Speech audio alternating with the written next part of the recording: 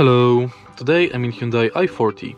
In this video I'll show you how to enable and disable navigation guidance. In the beginning, let's take a look at the screen display and go to settings. Now go to audio and enter navigation guidance to enable or disable this function. Thanks to navigation guidance you will hear the voice prompts about your navigation route. If you find this video helpful, please leave like, comment and subscribe.